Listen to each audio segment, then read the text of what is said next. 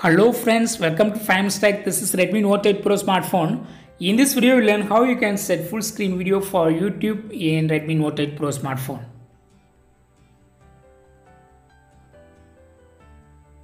First of all, go to YouTube. I open YouTube and playing this video. For full screen, just you can zoom it it will work fine if it does not work go to the settings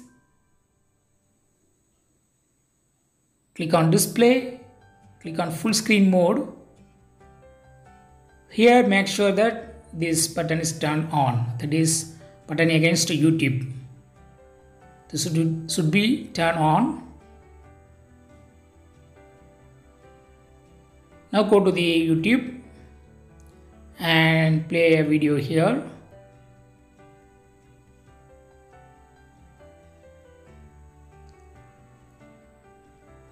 So in this way you can set full screen video in your phone. That's all friends. Thanks for watching. Subscribe for more videos. Bye